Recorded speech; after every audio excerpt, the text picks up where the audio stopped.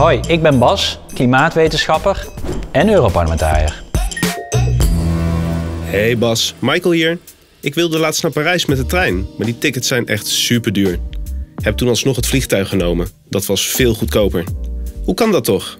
Ja, Michael, dat herken ik heel erg. Dat is een goede vraag. Het heeft eigenlijk met de ontstaansgeschiedenis te maken. Hè, treinen zijn allemaal nationaal georganiseerd. Uh, dus alle landen hebben hun eigen treinnetwerken niet goed op elkaar aangesloten. En daartegenover de luchtvaart, dat is natuurlijk meteen mondiaal georganiseerd. Verenigde Naties hebben een organisatie opgericht die zelfs vliegen stimuleert. En dat kwam natuurlijk na de oorlog, was het idee, als we nu meer met elkaar in verbinding komen, dan wordt het eigenlijk beter deze wereld. Daardoor geen BTW op uh, vliegtickets, geen accijns op kerosine, alleen maar om dat vliegen te stimuleren. Ja, dat is natuurlijk een totaal andere manier hoe we met vliegen omgaan dan met treinen. Ja, dank je Bas. Maar ik vroeg me nog wel iets af. Kunnen we niet gewoon regelen dat de luchtvaart voor een uitstoot betaalt? Ja, en dat systeem hebben we eigenlijk ook gewoon. Dat is het emissiehandelssysteem en daar moet je gewoon de luchtvaart onder laten vallen, zodat je voor C2 gaat betalen. Dat idee was er ook. Eh, Europa in 2012 wilde dat gaan instellen voor alle vluchten naar Europa, dus echt mondiaal.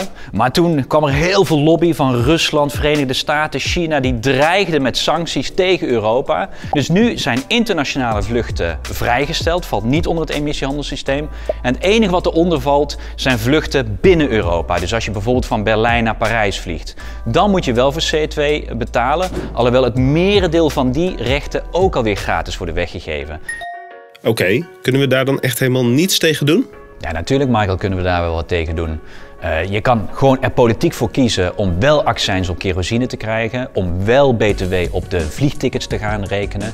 Uh, we kunnen natuurlijk korte afstandsvluchten gaan afschaffen en daarvoor veel meer de treinen stimuleren. Dat we nu nog steeds vliegen van Amsterdam naar Brussel, ja, dat slaat echt nergens op. Politiek kun je daar keuzes op maken. En dat betekent dus, ja, luchtvaart moet onder die Green Deal vallen, het moet onder het Parijsakkoord vallen en dan pakken we echt de luchtvaart aan. Because in the end every sector needs to play its role. And aviation until now has been eh, excluded. Klinkt logisch. Maar kan de trein dan niet ook gewoon een stuk goedkoper worden? Ja, natuurlijk moet de trein nog goedkoper. Hè. Nu is het vliegen veel goedkoper dan de treinen en dat moeten we aanpakken door echt serieus te gaan investeren in treinverbindingen. Veel meer kijken naar de internationale verbindingen. Nu kiezen overheden toch te vaak voor om echt de nationale verbindingen te verbeteren en niet de internationale.